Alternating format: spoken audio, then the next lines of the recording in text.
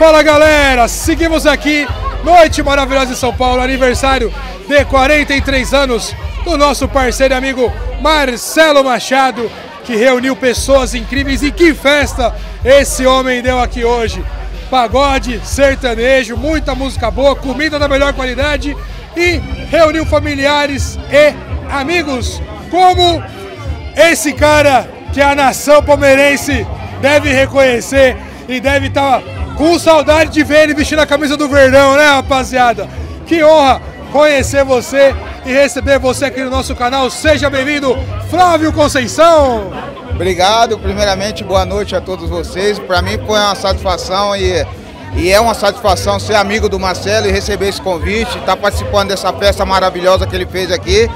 E é bom a gente estar tá sempre entre amigos, assim, curtindo um pagodinho, sempre bom, né? É, é gostoso, é, é sempre bom estar tá com família, com amigos que a gente gosta e numa noite maravilhosa com pagode, música e comida boa também, né? Com toda certeza, aí.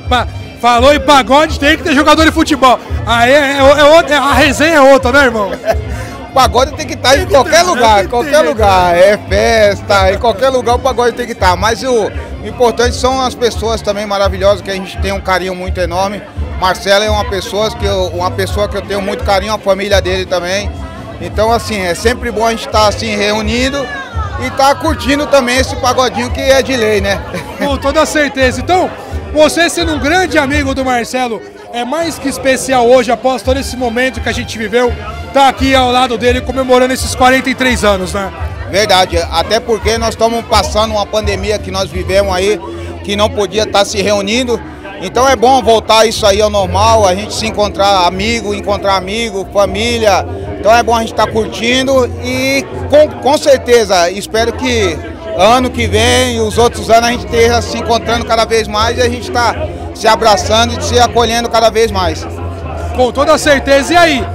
O que, que as torcidas do Brasil podem esperar esse ano de Flávio Conceição?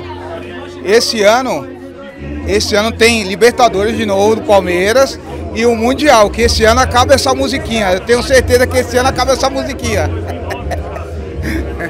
Eu vou ser obrigado a discordar. Nós já cortamos eu metade vou, dela, hein? Eu vou ser obrigado a discordar. Vocês podem até levar mais uma Libertadores. Mas eu acho que Vinícius Júnior, Rodrigo, Benzema, eu acho que vai deitar de novo. Eu acho que esse ano vai dar pra vocês não, hein? Acho que não vai dar não. Isso é claro, se chegar até o Real Madrid. Eu já tô colocando o Real Madrid campeão. Pra mim, o o Liverpool não segura o Rojão não, viu? Primeiro, nós vamos ser campeão de novo. Nós já quebramos a musiquinha pela metade, né? Essa metade já acabou no a passado. Gente, a gente já mudou a música. É. Já mudou, agora é bi rebaixado e não tem mundial. Então, ano que vem vocês vão ter que refazer uma outra música, porque o mundial vai acabar pra vocês, essa musiquinha. Mas não vai mesmo. Mas não vai mesmo. A musiquinha vai continuar acontecendo. Até porque, se eu não me engano, acho que esse Mundial agora 2020, esse Mundial agora 2021 foi o último nesse formato, né? Parece que agora já é outro novo formato. Agora parece que já não sei, se eu não me engano, não, se eu não me engano, não sei se é esse ano ou se é o próximo que já entra aquele formato de grupo lá, hein? Independente de formato, Palmeiras vai ganhar um Mundial e eu acredito que seja esse ano aqui ainda. Porque eu acho que o Palmeiras ganha a Libertadores de novo esse ano e eu acho que tem um Palmeiras tem grande chance e expectativa nossa é que o Palmeiras ganhe o Mundial. Bom, agora falando, largando um pouco o clubismo de lado, porque tem que ter essa rifa Corinthians e Palmeiras, tem que ter essa provocação, obviamente, senão não é Corinthians e Palmeiras, né, Brasil? Mas agora falando de verdade, falando francamente, realmente acho que o Palmeiras sim tem grandes chances, eu acho que mais todos os clubes que estão na Libertadores têm chance, obviamente. Só que precisa. É, eu não sei o que aconteceu ao certo ano passado com o Chelsea. Eu, eu senti até mesmo pela fala do Abel. Talvez o Abel Silvestre também vai querer me matar, vai falar um monte de merda. Mas Abel, é brincadeirinha, tá? Mas assim, eu senti que ele se baseou no que ele viu da semifinal do Chelsea para armar o Palmeiras. Eu acho que ali ele pecou que ele não deveria ter se baseado no que ele viu na semifinal, porque para mim o Chelsea foi muito mais forte para a final do que para a semi. Você que tá ali dentro pode falar com mais propriedade do que eu sobre isso, né? É que final acaba mudando tudo, né? A gente jogou e viveu isso daí uma final ela acaba sendo decidida em detalhe. Por mais que você é, faz todo o esquema tático, se prepara para uma final, chega na final muda tudo. É um detalhe que acaba é, fazendo o resultado final, foi o que aconteceu com o Palmeiras e Chelsea.